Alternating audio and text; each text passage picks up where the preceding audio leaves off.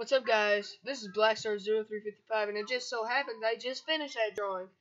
The teaser, it came out pretty good. I'm pretty, pretty dang happy with it.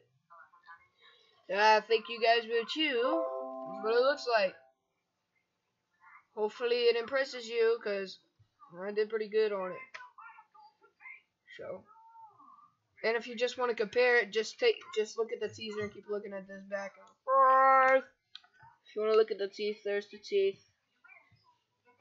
Looks pretty good. But that's all I wanted to show you. This is Blackstar 0355, and I'm out.